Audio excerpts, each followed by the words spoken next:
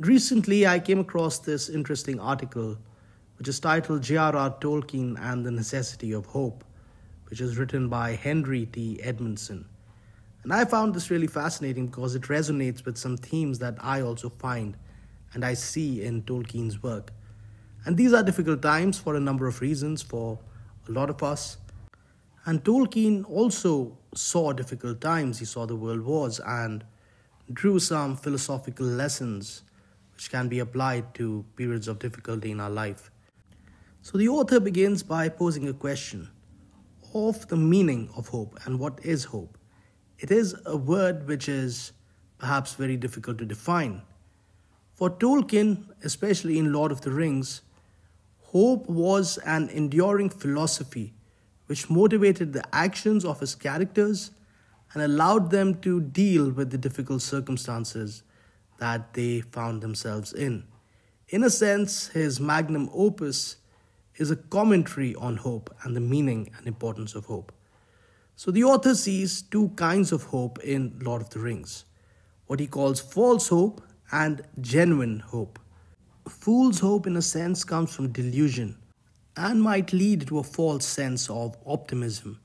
But both that optimism and that hope is lost when the delusion is shattered. Now, in addition to this fool's hope or the false hope, there is another kind of hope. That is a more enduring hope. And that is a hope which drives all the characters of the story towards their ultimate goals. Or I would say the heroes who are motivated by honest desires and honest belief in this honest and enduring hope. So, this True hope should not be confused with a sense of optimism about everything in life.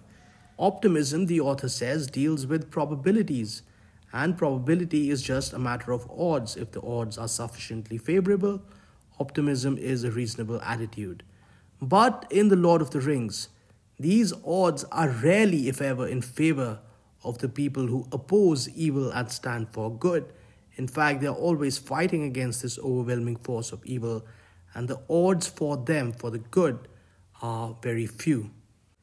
But as one of the characters, Legolas, says, oft hope is born when all else is forlorn. So, what is the difference between this true hope and optimism? Optimism is fundamentally just a reading of the odds. If you read them correctly, and if the odds are in your favor, you should be optimistic, and if they are not, you should expect the worst. Of course, if you have false hope, you will be optimistic even when you read the odds and the odds are not in your favor. And that is delusion. And because the odds are not in your favor, your delusions will be shattered very soon. But this enduring hope comes when you do read the odds, when the odds are against you, and yet you continue to fight on for something, for something that is larger than yourself. And this is this true sense of hope. Another character, Aragorn, says, when they come to a final battle, we now come to this very brink when hope and despair are akin. There is a lot here that we can unpack. But what he fundamentally means is that we are facing darkness. The odds are against us, and we are most likely to fail. So, any reasonable person, if he reads the situation on the basis of odds, despair is a very rational conclusion based on a reading of what is likely to happen.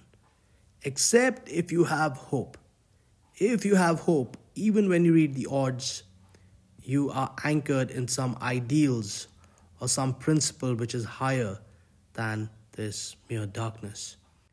Again, Legolas says, Follow what may, great deeds are not lessened in worth.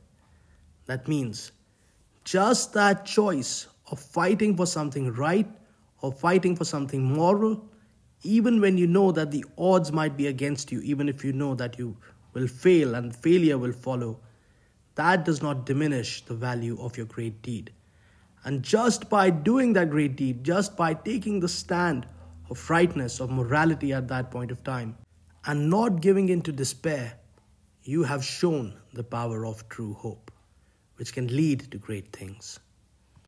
Again, Gandalf says, It is not our part to master all the tides of the world, but to do what is in us for the succor of those years, wherein we are set, uprooting the evil in the fields that we may know, so that those who live after may have a clean earth to till. There is no final hope, there is no utopian dream. There is a struggle, they are caught in a struggle, and that struggle might not end. Even if it ends now, it might reappear again later, as anyone who knows the mythology of the Lord of the Rings. But if you take a stand, if you take a stand of right and morality now, even if you might lose this assault, this assault of darkness upon light, you give something back. You add to that enduring hope. And that enduring hope in the future might motivate or might encourage or might be the spirit which is necessary for someone else in the future to meet a second assault. And that person might fail again at the second assault, but if he takes that stand, if he does that great deed, he again adds to that enduring hope, which again is something that someone else in the future again will draw strength from. And by taking the stand, you add to the value, the enduring value of hope. And one day that hope, that enduring value, will become strong enough to turn the tide of darkness. And so one of Tolkien's characters says, Hope and memory shall live still in some hidden valley where the grass is green. Hope may thus be drawn from what has been as a means of rightly anticipating what might be.